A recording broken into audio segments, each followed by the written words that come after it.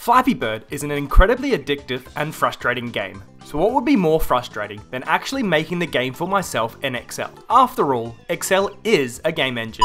And here we have it, Flappy Bird, all made within Excel using VBA. Firstly, let's talk game features. Here we have a procedurally generated map, with each game played being unique.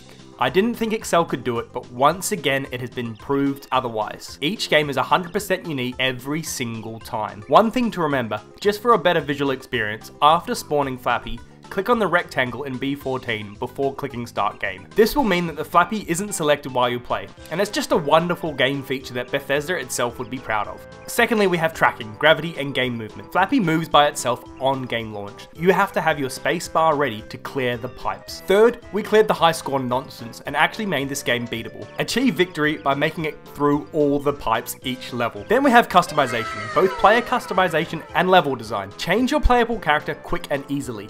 If you're sick of Flappy dying, why not switch to Pac-Man or even Mario or whoever else captures your attention? A little bit more difficult, but you can also customize your game map. The game is built by randomly generating 9 different game tiles for you to navigate through. Change these as much as you want. The key here is the color green pipes any intersection with these elements and it's game over. So make sure you think this through when you space them out. This game is downloadable for free from my blog, so get your spacebar ready. Also, as always, the VBA code is unlocked, so nice. you can see what is actually happening behind the hood. While you're here, why not check out some other games we've made, and see you next time.